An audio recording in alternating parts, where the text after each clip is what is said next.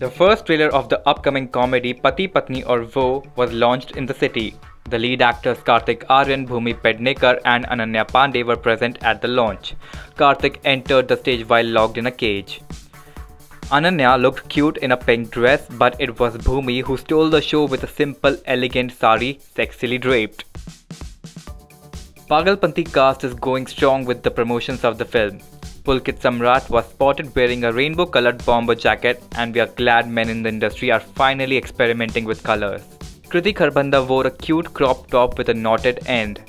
Look at those dangling earrings. Beautiful. Urvashi Rautela wore a white romper dress, Ileana D'Cruz wore a long sundress, Anil Kapoor kept it stylish. Sara Ali Khan and Rohit Shetty were spotted shooting for a new project. The two have worked together in the film Simmba.